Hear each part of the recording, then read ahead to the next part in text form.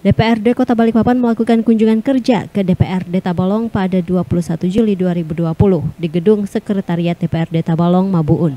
Kunjungan kerja ini membahas mengenai sistem pertanian yang terintegrasi dengan Smart City. Kunjungan kerja DPRD Balikpapan ini sekaligus menjadi pembuka kunjungan DPRD luar daerah ke Kabupaten Tabalong sejak pandemi COVID-19. Juga kami sudah membuka pintu buat kawan-kawan yang ingin berkunjung karena ini juga banyak yang berkaitan dengan dipertanyakan bagaimana tata cara penanganan COVID. Yang kita harapkan komunikasi dari daerah-daerah dan kita juga tidak bisa menutup diri terus untuk uh, komunikasi dengan penanganan ini. Selain DPRD Tabalong, kunjungan kerja DPRD Balikpapan turut disambut pelaksana tugas Kepala Dinas Pertanian Tabalong dan Kepala Dinas Komunikasi, Informatika, dan Statistik Tabalong. Dalam kesempatan ini, Distan dan Diskominfo memaparkan bagaimana sistem pertanian di Tabalong yang terintegrasi dengan Smart City. Salah satunya mengenai pengembangan informasi pendataan wilayah pertanian sejak tahun lalu, serta early warning system sebagai penanda akan terjadi banjir bandang, sehingga dapat meminimalisir kerugian hasil pertanian.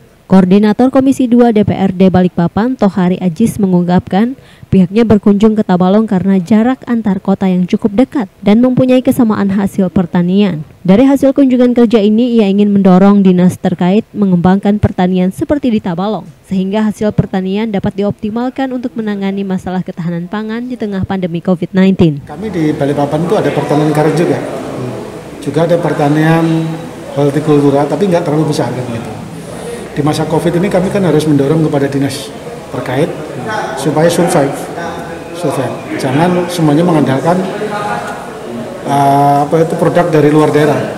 Khawatirnya transportasi jadi terhambat. Ini kan jadi mahal. Kami harus berdaya sendiri kan gitu, harus survive sendiri, mengembangkan masyarakat kami supaya bisa bisa bisa live in kan gitu, semacam di Tabalang. Kan karena lahan kami cukup sedikit kan gitu.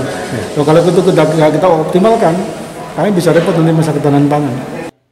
Tohari Ajis mengapresiasi sistem pertanian di Tabalong yang terintegrasi dengan Smart City. Ia menilai hal ini sangat positif dan visioner, terlebih sedang dilakukan pengembangan ibu kota negara di Kalimantan Timur, dan Tabalong sendiri akan mengambil peran sebagai multiplier effect nantinya. Alfi Syahrin, TV Tabalong melaporkan.